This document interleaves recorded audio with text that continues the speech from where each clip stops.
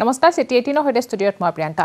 অৱশেষত মেট্ৰিক পৰীক্ষাৰ্থীৰ মূল্যায়নৰ আৰ্হি প্ৰস্তুত কৰিলে বিশেষজ্ঞ কমিটিয়ে। এইবাৰ ফলাফলত ৰেংক দিয়া নহ'ব কোনো পৰীক্ষাৰ্থীকে। নৱম দশম শ্ৰেণীৰ তথ্যৰ ভিত্তিত ফলাফল প্ৰস্তুত কৰাৰ সিদ্ধান্ত গ্ৰহণ কৰে বিশেষজ্ঞ কমিটিয়ে। ইতিমধ্যে এনে তথ্য সংগ্ৰহ কৰা হৈছে বুলিও জানিবলৈ দিয়ে কমিটিয়ে। দুদিন ধৰি হোৱা মাৰাথন বৈঠকৰ পিছত চূড়ান্ত সিদ্ধান্তত উপনীত হয় বিশেষজ্ঞ কমিটি। আন ৰাজ্যৰ বৰ্ডৰ আৰ্হিত সেৱায়ো কৰিব পৰীক্ষাৰ্থীৰ মূল্যায়ন। ইতিমধ্যে বিভিন্ন শিক্ষাবিধে আগবঢ়াইছে বহু পৰামৰ্শ। এনে পৰামৰ্শৰ ভিত্তিতো প্ৰস্তুত কৰা হৈছে মূল্যায়নৰ আৰ্হি। আজিয়ে বিশেষ কমিটিৰ প্ৰতিবেদন দাখিল কৰা হ'ব শিক্ষামন্ত্ৰী ডক্টৰ ৰণোজ পেকুক। অৱশ্যে এই প্ৰতিবেদন চৰকাৰে কেনেদৰে লয় তাৰ ওপৰতো নিৰ্ভৰ কৰিব। বহু কথা।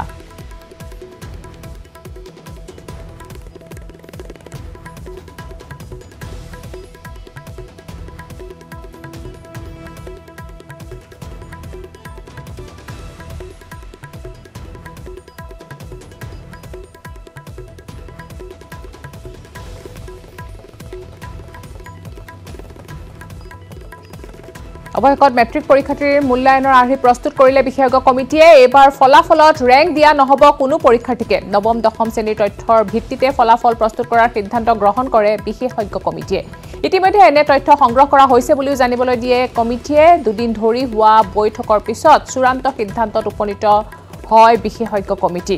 আন ৰাজ্যৰ দৰে এইবাৰ বৰ্ডৰ আৰ্হিত সেৱায়ো কৰিব পৰীক্ষাৰ্থীৰ মূল্যায়ন। ইতিমধ্যে বিভিন্ন শিক্ষাবিদে আগবঢ়াইছে বহু পৰামৰ্শ। আৰু এনে পৰামৰ্শৰ ভিত্তিতো প্ৰস্তুত কৰা হৈছে মূল্যায়নৰ আৰ্হি। আজিয়ে বিশেষ কমিটিৰ প্ৰতিবেদন দাখিল কৰা হ'ব শিক্ষামন্ত্ৰী ডক্টৰ ৰণোজ পেগুক অৱশ্যে এই প্ৰতিবেদন চৰকাৰে কেনেদৰে লয় তাৰ ওপৰতো নিৰ্ভৰ কৰিব বহু কথা।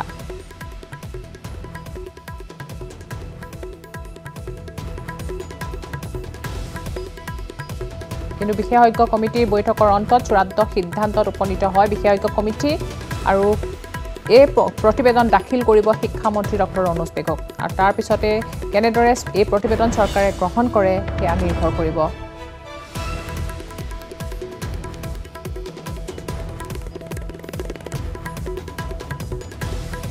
আন ৰাজ্যৰ বৰ্ডৰ আৰ্হিত সেৱায়ো এইবাৰ কৰিব পৰীক্ষাৰ্থীৰ মূল্যায়ন। দুদিন ধৰি হোৱা মাৰাথন বৈঠকৰ পিছত চূড়ান্ত সিদ্ধান্তত উপনীত হয় বিশেষজ্ঞ কমিটি।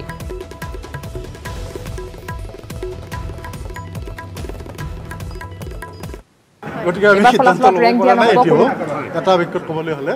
কিন্তু সিদ্ধান্ত ল'বলৈ যোৱাৰ কাৰণে যিখিনি আমাৰ প্ৰস্তুতি সেই প্ৰস্তুতিখিনি আমাৰ যথেষ্ট অগ্ৰগতি লাভ কৰিছে। মই মোৰ সহকৰ্মীসকলক ধন্যবাদ দিছোঁ they are very much positive আৰু ছাত্ৰ ছাত্ৰীসকলৰ লক্ষ্য কৰি আমি গোটেইবোৰ কথা কৰি গৈছোঁ। আৰু ইয়াৰ বাবে যিখিনি তথ্য পাতি লাগে আমি কাউন্সিলৰ পৰাও পাইছোঁ। আৰু মই ক'বলৈ ভাল পাইছোঁ যে অসমৰ বিভিন্ন প্ৰান্তৰ বিভিন্ন শিক্ষাবিদে কিছুমানে আমি কোৱাৰ বাবে আৰু কিছুমানে আমি নোকোৱাকৈয়ে আমাৰ সৈতে যোগাযোগ কৰিছে আৰু তেওঁলোকৰ যি মূল্যৱান পৰামৰ্শ সেই পৰামৰ্শসমূহ আমি আলোচনা কৰিছোঁ আৰু তেওঁলোকৰ পৰামৰ্শসমূহ আমি ভাল ধৰণে আমি বিচাৰ বিশ্লেষণ কৰিছোঁ আৰু আমাৰ যিবোৰ সিদ্ধান্ত বা পৰামৰ্শ যাব প্ৰতিবেদনত তাত এইবোৰ কথা প্ৰতিফলিত হ'ব। আমাৰ কিছুমান ছাত্ৰ ছাত্ৰী আছে বেটাৰমেণ্টৰ কাৰণে পৰীক্ষা দিয়ে আৰু কিছুমান unsuccessful candidate unsuccess previously unsuccessful candidate আৰু কিছুমানে চাৰ্টেন ছাবজেক্ট দিয়ে আৰু কিছুমানে কম্পাৰ্টমেণ্টেল পৰীক্ষা দিয়ে। গতিকে এনেধৰণৰ চাৰিটা কেটেগৰী ওলায় তাতেও আৰু সেই ছাত্ৰ ছাত্ৰীৰ কাৰণে আমাৰ নিৰ্দিষ্ট পৰামৰ্শ থাকিব। চি বি এছ ই বা অন্য ষ্টেট বৰ্ডৰ আধাৰতে আমি কৰিব গৈ আছোঁ। কিন্তু তেওঁলোকে যিটো থাৰ্টি লৈছে আমি কিমান ল'ম? আপুনি সেইটো সুধিছে নিশ্চয়? গতিকে সেইটো আমি চিন্তা চৰ্চা কৰি আছোঁ। আমি সিদ্ধান্ত ল'ম যাতে ছাত্ৰৰ অনুকূলেই যায়। আঠচল্লিছ ঘণ্টাৰ পিছত সন্ধান ওলাল মহানগৰীৰ প্ৰতিষ্ঠিত তথা চহম চপীৰ নিৰ্দিষ্ট স্বত্বাধিকাৰী সন্দীপ জালানৰ। উত্তৰ প্ৰদেশৰ বাৰাণসীত মহানগৰ আৰক্ষীয়ে সন্ধান পাইছে সন্দীপ জালানৰ। নিৰ্দিষ্ট সন্দীপ জালানক শীঘ্ৰে গুৱাহাটীলৈ অনাৰ যো জা কৰিছে অসম আৰক্ষীয়ে। মঙলবাৰে সন্ধিয়াৰে পৰা সন্ধানহীন হৈ আছিল চহম চপীৰ স্বত্বাধিকাৰীগৰাকী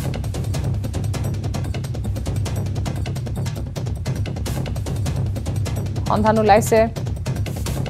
মহানগৰী প্ৰতিষ্ঠিত চহম চপীৰ নিৰ্দিষ্ট স্বত্বাধিকাৰী সন্দীপ জালানৰ উত্তৰ প্ৰদেশৰ বাৰাণসীত মহানগৰ আৰক্ষীয়ে সন্ধান পাইছে সন্দীপ জালানৰ।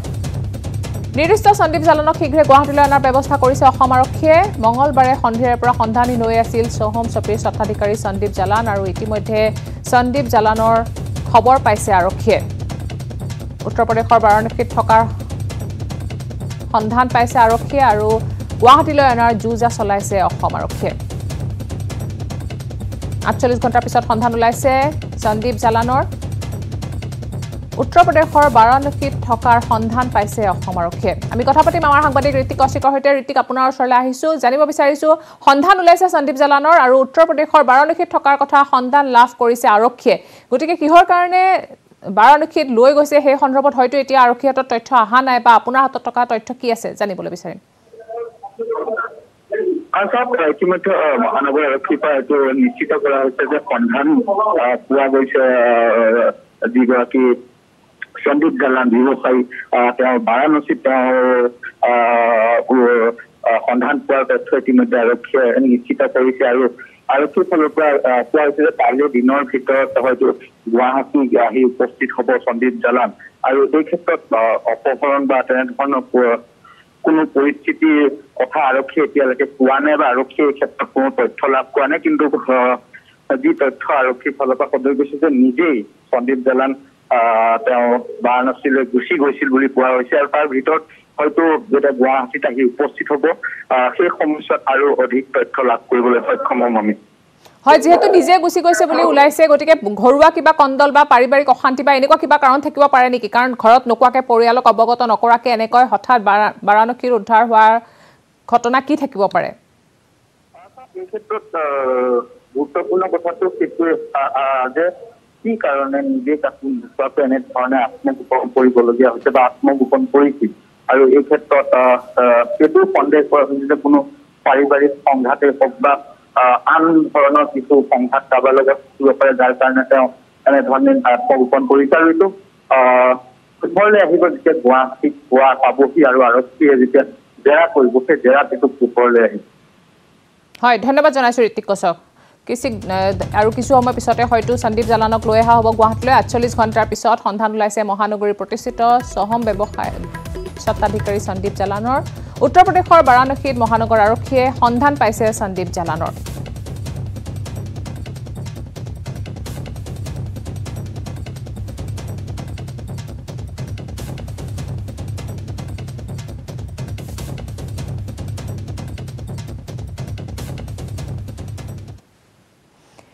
আৰক্ষীৰ গুলীত নিহত হৈছে ৰাজ্যজুৰি সন্ত্ৰাসৰ সৃষ্টি কৰা দুৰ্দৰ্শ অপৰাধী বুবু কোঁৱৰ অসম নাগালেণ্ড সীমান্তৰ গেলেকীত আৰক্ষীৰ গুলীত অৱসান ঘটিল এটা কুখ্যাত অধ্যায়ৰ। তিৰাল্লিছ বছৰ বয়সত বিৰাল্লিছটা হত্যাকাণ্ড সংঘটিত কৰা বুবুৰ মৃত্যুত স্বস্তিয়ে নিশ্বাস পেলাইছে এতিয়া আৰক্ষীৰ লগতে শ শ ভুক্তভোগীয়ে।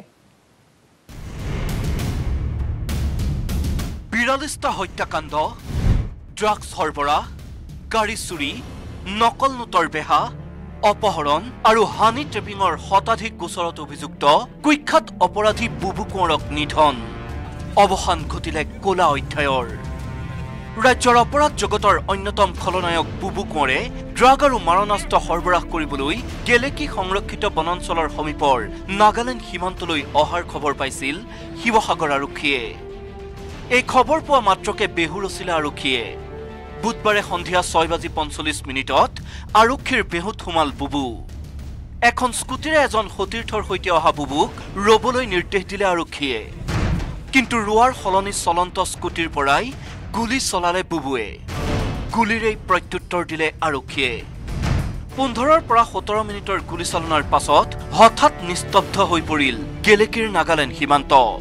তাৰ পাছতে ঘটনাস্থলীৰ পৰা আৰক্ষীয়ে উদ্ধাৰ কৰিলে গুলীৰে থকা সৰকা হোৱা বুবু কোঁৱৰক। গেলেকী চিকিৎসালয়লৈ নিয়াৰ বাটতে মৃত্যুৰ শীতল কোলাত ঢলি পৰিল দুৰ্ধৰ্ষ অপৰাধী বুবু কোঁৱৰ। পুলিচ পাৰ্টি আৰু যিটো মিছক্ৰিয়েণ্টছ আছিলে তেওঁলোকৰ মাজত অৰাউণ্ড ফিফটিন ছেভেণ্টিন মিনিটছলৈকে ফায়াৰিং হৈছে। তাৰপিছত যেতিয়া ফায়াৰিং বন্ধ হ'ল তো চাৰ্চ ষ্টাৰ্ট কৰিলে। তেতিয়া পালে এজন মানুহ ইনজিঅৰ্ড কণ্ডিশ্যনত পিছত এইটো আইডেণ্টিফাই হ'ল কি ই বুবু কোৱাৰ হয়। যেতিয়া হস্পিটেলত গৈ পাইছে ডক্টৰ ব্ৰাউট ডেড ডিক্লেয়াৰ কৰিছে। পুনৰ ঘটনাস্থলীত অভিযান চলাই আৰক্ষীয়ে জব্দ কৰিলে। এই স্কুটিখনৰ লগতে seven point six five M M pistol পাঁচ ৰাউণ্ড সক্ৰিয় গুলী আৰু ড্ৰাগ ভৰ্তি দহটা কণ্টেইনাৰ কিন্তু আৰক্ষীয়ে জালত পেলাব নোৱাৰিলে বুবুৰ সৈতে অহা সতীৰ্থক এতিয়াও চাৰ্চ অপাৰেশ্যন যিটো আছে কণ্টিনিউড আছে কিয়নো বহু কোৱাৰ লগত এজন আৰু মানুহ আছিলে সি পলাইছে। তো তাক আমি এপ্ৰিহেণ্ড কৰিবৰ কাৰণে এতিয়াও চাৰ্চ পুলিচ টীম চাৰ্চ কৰি আছে। ইতিমধ্যে শিৱসাগৰ আৰক্ষীয়ে সম্পন্ন কৰিছে জঘন্য অপৰাধী বুবু কোঁৱৰৰ মৰণোত্তৰ পৰীক্ষা। হয়তো বৃহস্পতিবাৰৰ ভিতৰতে শিৱসাগৰ জিলাৰ আমগুৰিৰ ৰতনপুৰীয়া গাঁৱত থকা পৰিয়ালক আৰক্ষীয়ে চমজাই দিয়াৰ সম্ভাৱনা আছে বুবুৰ মৃতদেহ। বিৰাল্লিছটা হত্যাকাণ্ডৰ লগতে ড্ৰাগ সৰবৰাহ গাড়ী চুৰি নকল নোটৰ বেহা অপহৰণ আৰু হানি ট্ৰেপিঙৰ দৰে জঘন্য অপৰাধত জড়িত থকা বুবু কোঁৱৰৰ নিধনত স্বস্তিৰ নিশ্বাস পেলাইছে অসম আৰক্ষীৰ লগতে শ শ ভুক্তভোগী পৰিয়ালে। Bureau' report news eighteen Assam north east. No' vaccine no' salary ৰাজ্যৰ চৰকাৰী ফ্ৰণ্টলাইন বিষয়া কৰ্মচাৰীৰ বাবে এতিয়া জৰুৰী কভিডৰ টীকাকৰণ। চলিত মাহৰ দৰমহা লাভৰ পূৰ্বে ৰাজ্য চৰকাৰৰ সকলো ফ্ৰণ্টলাইন কৰ্মচাৰীয়ে ল'ব লাগিব কৰোণাৰ প্ৰতিষেধক। দৰমহাৰ বাবে জৰুৰী ভেকচিন। ফ্ৰণ্টলাইন কৰ্মচাৰীৰ বাবে টীকাকৰণ বাধ্যতামূলক। ৰাজ্য চৰকাৰৰ বিশেষ নিৰ্দেশনা। ৰাজ্যত অব্যাহত আছে মেগা ভেকচিনেশ্যন ড্ৰাইভ। কিন্তু এই পৰ্যন্ত বহু ফ্ৰণ্টলাইন চৰকাৰী বিষয়া কৰ্মচাৰীয়ে লোৱা নাই কভিডৰ প্ৰতিষেধক যাৰ ফলত চিন্তিত হৈ পৰিছে চৰকাৰ তথা স্বাস্থ্য বিভাগ। কিয়নো এনে ফ্ৰণ্টলাইন বিষয়া কৰ্মচাৰীৰ পৰা কৰোণাৰ সংক্ৰমণৰ আশংকা অধিক। কভিড বিৰোধী এই যুঁজখনত জয়ী হ'বৰ বাবে ৰাজ্য চৰকাৰে জাৰি কৰিছে এক বিশেষ নিৰ্দেশনা। এতিয়াৰে পৰা সকলো চৰকাৰী ফ্ৰণ্টলাইন বিষয়া কৰ্মচাৰীয়ে ল'ব লাগিব কভিডৰ প্ৰতিষেধক। চলিত মাহৰ দৰমহা লাভৰ পূৰ্বে ৰাজ্য চৰকাৰৰ সকলো ফ্ৰণ্টলাইন বিষয়া কৰ্মচাৰীয়ে ল'ব লাগিব কৰোণাৰ টীকা। দৰমহা দিয়াৰ পূৰ্বেই কৰ্মচাৰীসকলে ভেকচিন গ্ৰহণ কৰিছে নে নাই সেই সন্দৰ্ভতো বিষয়া মুৰব্বীয়ে জনাব লাগিব চৰকাৰক। অন্যথা দৰমহা লাভৰ ক্ষেত্ৰত সমস্যাৰ সন্মুখীন হ'ব পাৰে এই কৰ্মচাৰীসকল। ৰাজ্যিক দুৰ্যোগ প্ৰশমন প্ৰাধিকৰণে বুধবাৰে জাৰি কৰিছে এই নিৰ্দেশনা। চলিত মাহৰ পৰাই প্ৰযোজ্য হ'ব এই নিয়ম। ইতিমধ্যে কভিডৰ দুয়োটা ভেকচিন লোৱা চৰকাৰী বিষয়া কৰ্মচাৰীক কাৰ্যালয়ত যোগদান কৰিবলৈও জাৰি কৰা হৈছে নিৰ্দেশনা। News desk report news eighteen Assam north east.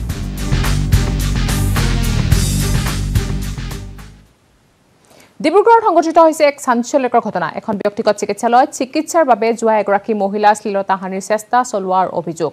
Nayanjyoti ডেকা নামৰ চিকিৎসকজনৰ বিৰুদ্ধে উত্থাপন হৈছে এই অভিযোগ। বৰবাৰী আৰক্ষী চকীত চিকিৎসকগৰাকীৰ বিৰুদ্ধে মহিলাগৰাকীয়ে দাখিল কৰিছে এজাহাৰ। ইতিমধ্যে মহিলাগৰাকীৰ অভিযোগৰ ভিত্তিত আৰক্ষীয়ে সোধা পোছাৰ বাবে আটক কৰিছে ডক্টৰ নয়নজ্যোতি ডেকাক।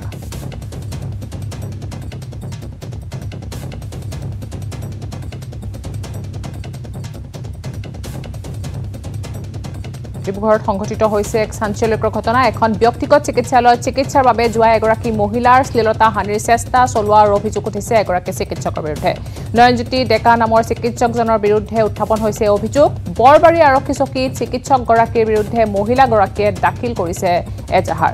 ইতিমধ্যে মহিলাগৰাকীৰ অভিযোগৰ ভিত্তিত আৰক্ষীয়ে সোধা পোছাৰ বাবে আটক কৰিছে ডক্টৰ নয়নজ্যোতি ডেকাক।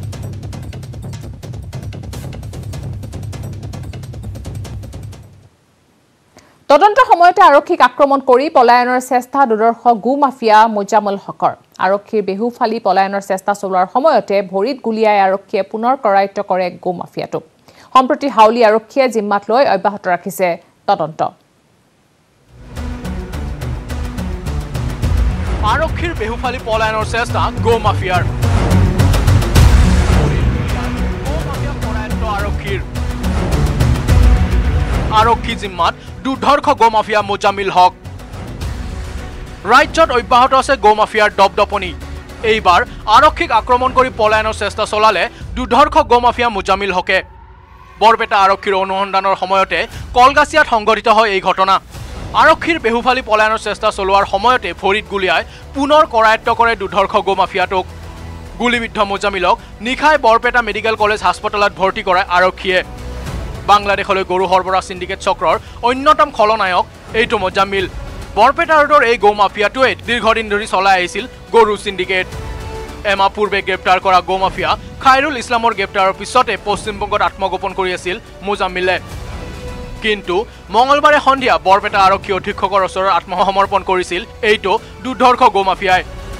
তাৰ পিছতে মোজামিলক দহ দিনৰ জিম্মাত লৈ হাউলী আৰক্ষীয়ে অব্যাহত ৰাখিছিল তদন্ত। আৰু সেই সময়তে দুৰ্ধৰ্ষ গৌ মাফিয়াটোৱে আৰক্ষীৰ বেহুফালি পলায়নৰ চেষ্টা চলোৱাৰ ঘটনাই এতিয়া সৃষ্টি কৰিছে তীব্ৰ চাঞ্চল্যৰ। বৰপেটাৰ পৰা Niranjan Das news eighteen Assam north east পেটৰ ভোকত বনাঞ্চলৰ পৰা নামি অহা বন্য হস্তীয়ে বুধবাৰে নিশা তহিলং কৰিলে ৰাজ্যৰ বিভিন্ন অঞ্চল। ধানৰ গোন্ধ লৈ হাবিৰ পৰা ওলাই অহা হাতীয়ে মিছামাৰীত ভাঙিলে এটা ধান কল। মিছামাৰীৰ লগতে দুধনৈ আৰু নুমলীগড়তো ট্ৰাক চলালে বন্য হস্তীয়ে বন্যহস্তীৰ উপদ্ৰৱ। লণ্ড ভণ্ড ধানৰ মিল। কৃষকৰ ধানৰ কঠীয়াও অনিষ্ট কৰিছে। হাতীৰ জাকে। মিছামাৰীত আতংক। ৰংজুলিত ভাঙিলে বাসগৃহ। নুমলীগড়ত দহটা পৰিয়ালৰ ঘৰ লণ্ড ভণ্ড শোণিতপুৰৰ মিছামাৰীত বন্যহস্তীয়ে ভাঙি লণ্ডভণ্ড কৰিলে এটা ধানৰ মিল। জীয়াগাভৰু গাঁৱৰ জয়শ্ৰী ডেকাৰ ধানৰ মিলৰ ঘৰটোৰ লগতে মিলৰ যন্ত্ৰপাতি ভাঙি ক্ষতিসাধন কৰে বন্যহস্তীয়ে। মিলৰ ভিতৰত সোমাই আপোনাৰ মটৰটোত অলপ ক্ষতিসাধন কৰে আৰু মেইন চেলাৰতো অলপ ক্ষতিসাধন কৰিছে। আৰু ধান আছিলে ভিতৰত চাৰি পাঁচ কুইণ্টেলমান। হয় মানে বান্ধিব অনা সিহঁতৰ ধানখিনি খাই পিছফালে ওলাই যায়। নিশা সোণাই ৰূপাই বন্যপ্ৰাণী অভয়াৰণ্যৰ পৰা খাদ্যৰ সন্ধানত ওলাই অহা চাৰিটা বন্যহস্তীয়ে মিলটোত মজুত থকা ধান চাউল আদিও ভক্ষণ কৰে। গাঁওখনৰ বহুকেইজন কৃষকৰ ধানৰ কঠীয়া খাই গচকি নষ্ট কৰে বন্যহস্তীৰ জাকটোৱে। তাৰ কেইদিনমানৰ আগতেও আহি পেলাই বাৰীৰ কলগছ খাইছে কঁঠাল খাইছে এনেকৈ খাই পেলাই গৈছে। গাঁৱৰে আমাৰ ভাইটি বুলি ক'ব লাগিব সিহঁতৰ এই নদীত কঠীয়া পেলাইছিলে। গোটেই কঠীয়া মানে চাৰিটা হাতীয়ে শেষ কৰি থৈ গৈছে। ইফালে দুধনৈ ৰংজুলিৰ ধনুভাঙা অঞ্চলত বিছ পঁচিছটা বন্যহস্তীয়ে কেইবাটাও বাসগৃহ ভাঙি লণ্ডভণ্ড কৰে। ঘৰ ভাঙি ধান চাউল খাই তহিলং কৰে বন্যহস্তীৰ জাকটোৱে। ঘৰৰ বহু আচবাব ভাঙিও বিস্তৰ ক্ষতিসাধন কৰে। এ, বাচন বৰ্তন ধান চাউল ঘৰটো সম্পূৰ্ণই প্ৰায় দহ বাৰমান ধান আছিলে। নুমলীগড়তো অব্যাহত আছে বন্যহস্তীৰ ত্ৰাস। কালিয়নী চাহ বাগিচাত দহটাতকৈও অধিক বাসগৃহ ভাঙি চুৰমাৰ কৰে বনৰীয়া হাতীয়ে যেতিয়াই আহে অকল ঘৰ ভঙাৰ ছিষ্টেম আৰু মানুহক পাছে পাছে খেদি যায়। কোনোমতেহে কেইজনমান ব্যক্তি আজি প্ৰাণ ৰক্ষা হৈছে পৰিছে। ৰাজ্যৰ বিভিন্ন ঠাইত এনেদৰে বন্যহস্তীয়ে উপদ্ৰৱ চলাই মানুহৰ নিদ্ৰাহৰণ কৰিছে যদিও এতিয়াও গভীৰ নিদ্ৰাত আছে ৰাজ্যৰ ব্যাগম বন বিভাগ। Bureau' report news eighteen Assam north east. Kamrup মহানগৰ জিলাৰ ডিমৰীয়াৰ এখন নাৰ্চাৰী যিখন নাৰ্চাৰীৰ এক সুকীয়া পৰিচয় দাঙি ধৰি জিলিকি উঠিছে সমগ্ৰ উত্তৰ পূব ভাৰতত। ভাৰত চৰকাৰৰ শেহতীয়া সমীক্ষাত নাৰ্চাৰীখনে উত্তৰ পূৰ্বাঞ্চলৰ ভিতৰতে লাভ কৰিছে শ্ৰেষ্ঠতাৰ আসন অলপ অৰ্থ মাথো চাৰিজন বনুৱা কৰ্মী আৰু নিজৰ দেহ মনৰ জোৰকে সম্বল কৰি আগবঢ়া ডেফডিল নাৰ্চাৰী আজি দুটা দশকৰ অন্তত উত্তৰ পূৰ্বাঞ্চলৰ ভিতৰতেই এখন লেখত ল'বলগীয়া বৃহৎ নাৰ্চাৰীলৈ ৰূপান্তৰিত হৈছে। দুশ পঞ্চাছজনৰো অধিক মহিলা পুৰুষক কৰ্মসংস্থাপনৰ পথ মুকলি কৰা এই ডেফডিল নাৰ্চাৰীৰ দৈনিক উপাৰ্জন তিনি লক্ষাধিক টকা। শেহতীয়াকৈ এই নাৰ্চাৰীখনে উত্তৰ পূৰ্বাঞ্চলৰ ভিতৰতেই এক বিশেষ স্থান অধিকাৰ কৰিবলৈ সক্ষম হৈছে। গ্ৰেজুৱেলি আমি লেণ্ডস্কেপিঙৰ এটা টীম বনাই লৈছোঁ। এতিয়া মোৰ লেণ্ডস্কেপিঙৰ কাৰণেই ডেইলি ষাঠিৰ পৰা সত্তৰজন মানুহ এংগেজ হৈ থাকে। তেওঁলোকে বিভিন্ন ধৰণৰ ধৰক ৰোড প্লেণ্টেশ্যন আমি কাজ কলিয়াবৰৰ পৰা একদম গোলাঘাটলৈকে এটা লেণ্ডস্কেপিঙৰ কাম মানে প্লেণ্টেশ্যনৰ কাম কৰিছোঁ। তাত গোটেই এজাৰ কৃষ্ণচূড়া সোণাৰু আমি ভাগ ভাগকৈ দি দিছোঁ। সপোন খেদি দিঠক কৰা এই ডেফোডিল নাৰ্চাৰীয়ে উত্তৰ পূৰ্বাঞ্চলৰ ভিতৰত এক বিশেষ স্থান অধিকাৰ কৰাত উৎসাহী হৈ পৰিছে ইয়াৰ কৰ্মকৰ্তা তথা প্ৰত্যেকজন কৰ্মচাৰী। এই নাৰ্চাৰীখনত আছে ভিন্ন তথা উন্নত মানৰ ফল আৰু ফুলৰ জাত আম আপেল আঙুৰ নাচপতিকে আদি কৰি বিভিন্ন জাতৰ বগৰী অমিতা মধুৰি আদি বতৰৰ ফল মূল আৰু বছৰেকীয়া সকলো ধৰণৰ উন্নত মানৰ পুলি। এই নাৰ্চাৰীখনে ইতিমধ্যে লাভ কৰিবলৈ সক্ষম হৈছে উত্তৰ পূব তথা ৰাষ্ট্ৰীয় পৰ্যায়ৰ কেইবাখনো প্ৰদৰ্শনীৰ শ্ৰেষ্ঠতাৰ খিতাপ যোৰাবাটৰ পৰা Mousum Baishya news eighteen Assam north east.